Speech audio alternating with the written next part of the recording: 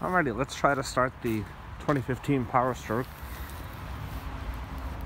2015 F350, the 6.7 liter Power Stroke diesel. It's about 4 degrees out.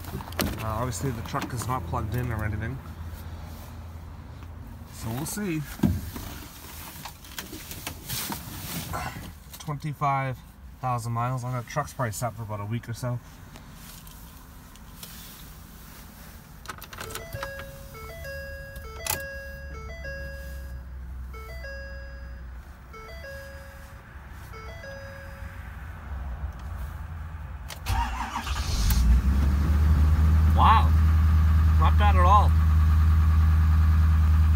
A lot less dramatic than I expected.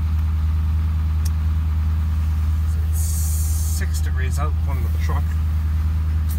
But that's all guys, thanks for watching.